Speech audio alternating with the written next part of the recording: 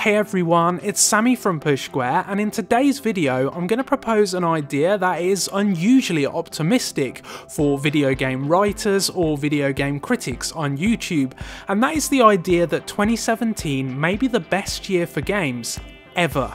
Now, obviously, that's a very strong statement, and it could all collapse within a matter of weeks after I'm recording this video, but stick with me because I think 2017 is off to an unbelievable start.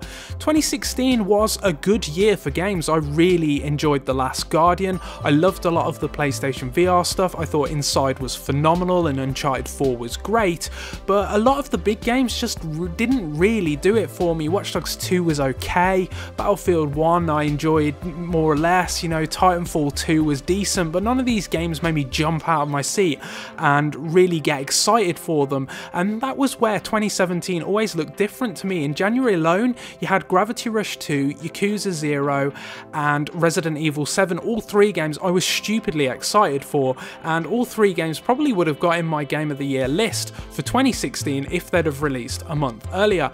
And that really set the tone and has set the tone for 2017 so far for me. You know, we've had stuff like Tales of Berseria, Sniper Elite 4, Night in the Woods. These are all For Honor, Hatsune Miku. These are all really good games. And then there's been some phenomenal games. There's been stuff like Horizon Zero Dawn, which is the best franchise debut that Sony's done since The Last of Us comfortably. I mean, that is going to be a big brand moving forwards. And Aloy is now an established character, in my opinion. Um, stuff like Nioh, which really exceeded expectations. You know, this was a game that was announced for the PS3, I believe, years and years and years ago. It was stuck in development hell it kind of re-emerged and Sony announced that it was going to publish it and it just got amazing reviews. And the same with Nier Automata. You know this is a game that the, the original was a cult classic. The idea of Square Enix teaming up with Platinum Games sounded cool but Platinum Games kind of has an iffy history. Sometimes they put out a hit sometimes they put out a turd. Nier Automata is just tearing it up on Metacritic right now. I think it's at a 90 there's a chance that that could go higher. Um, and you you know, this is just the first three months of the year, it's only March. If I look a little further forward, there's Mass Effect Andromeda coming out. Yeah, there's some question marks over that from some of the fans maybe, but there's every chance that BioWare's going to knock this one out of the park. Persona 5 comes out next month, um, and that's going to be huge. You know, obviously the game's already out in Japan. We know it's good, um, but we haven't had chance to play the English localization yet, and that's going to be, I think, a big game game for the PS4 and very popular with critics. And then there's smaller stuff like Crash Bandicoot, which is coming to the PS4. That's going to be a big release for Sony and Activision. And looking at the sort of traffic that we do on Crash Bandicoot on Push Square and um, on YouTube, you know, I think this is actually going to be a, a, really big commercial hit. It's priced right, the quality looks like it's there, the nostalgia's there, um, and you know that that's going to be a big deal. You know, Crash Bandicoot is coming back and looks good. That's a major deal for 2017 in, in games. Um, and then you look like further afield. Obviously, this is a PlayStation channel, so I won't talk about it too much. But Legend of Zelda just had ridiculous review scores. Like it's got a 98 on Metacritic I personally don't believe that that'll ever be beaten, certainly not anytime soon. That's ridiculous review scores. And on the Switch, um, you know, you've got Mario Odyssey coming up, and 3D Mario is always a big deal. But if we switch back to the PS4 alone, some of the stuff that's announced for holiday is like Destiny 2 is coming. There's going to be a huge amount of anticipation surrounding Destiny 2, absolutely gigantic. Um, that game is just going to blow the ceiling off stuff. Um, and also Star Wars Battlefront 2. Sorry, I'm just looking at a list because I've written all these games down. There's so much stuff. But the big one, I think, is Red Dead Redemption 2. Now, obviously, it could get delayed. Um, but there's a good chance that we may see Red Dead Redemption 2 this year. That's what Rockstar's saying. They've taken a lot of time over this game. Um, it's been in development for a long, long time.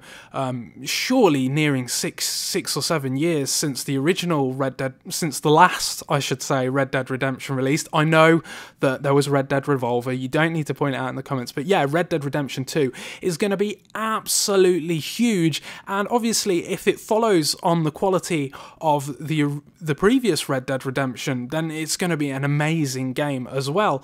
Um, there are a couple of years in gaming history that people always point to, and 1998 is the one that's widely considered the greatest ever. Some of the games that released in 1998 include Metal Gear Solid, uh, Ocarina of Time, Pokemon Red and Blue, and Half Life. So they're pretty major, major games. And also 2007 was also another kind of banner year for gaming. There was stuff like Super Mario Galaxy, Uncharted 1, Assassin's Creed, Call of Duty Modern Warfare, um, all big games. But for me, two 2017 or 2017 is shaping up to be a year where everything seems to be exceeding expectations. You know, a lot of people thought Gravity Rush 2 was going to be good. It turned out to be great. A lot of people thought Yakuza 0 was going to be good. It turned out to be great. And same with Tales of Berseria, Resident Evil 7, even smaller stuff like Sniper Elite 4 and Night in the Woods. Horizon Zero Dawn, a few weeks ago, everyone thought it was going to be garbage. You know, Guerrilla Games has never written a good story. What makes it think it can take on an open world RPG? Well, hey, it did, and it's great. NieR Automata, you know, the first game in the NieR series was really critically maligned, even though it, developed a cult following, you know, it reviewed very, very poorly. And now you're looking at NieR Automata on a 90. Are you serious? Um, and it just keeps going. There's Kingdom Hearts, there was Hatsune Miku, there's Furana. Uh, I just think 2017 there's something happening here. Everything seems to be hitting and hitting hard, um, and it's exciting. These are exciting games, unlike last year where the games seemed kind of rote and kind of boring. We're seeing a resurgence of Japanese developers, which is really exciting because they bring a different vibe, a different tone to the industry. We're seeing new IPs with Horizon Zero Dawn.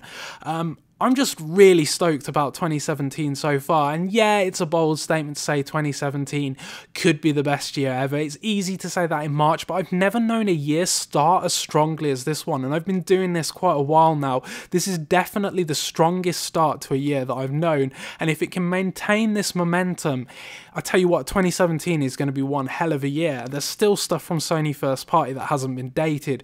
We could see Spider Man, we could see God of War, we could see Detroit this year. That is exciting stuff, man. Especially when Horizon Zero Dawn is just tearing up the charts at the moment and everybody's really loving it. The thought that Sony First Party could bring out a title that is better than that this year really exciting stuff. Um, but let me know what you think. Is 2017 going to be the greatest year for video games ever? It's a strong statement. It's a strong statement, I mean, but um, yeah, it's off to a strong start, aren't we?